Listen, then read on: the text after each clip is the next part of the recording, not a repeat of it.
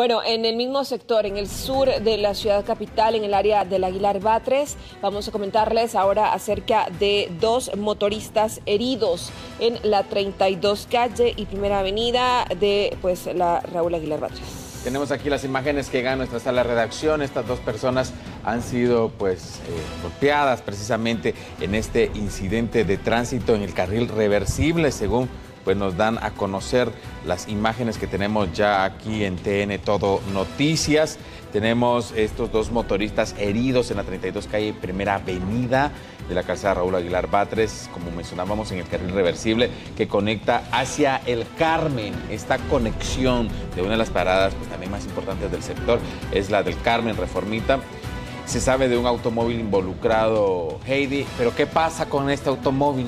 Bueno, eh, como muchos otros automovilistas, cuando se ven involucrados en un incidente vial, se fugan. Este automovilista se fuga del lugar y bueno, ya se coordina una unidad de emergencia por parte de la PMT de Villanueva. Dos personas arrolladas, motoristas arrollados. Este incidente está pues ocurriendo en este momento sobre la primera avenida 32 calle de la calzada Raúl Aguilar Batres en el eh, reversible.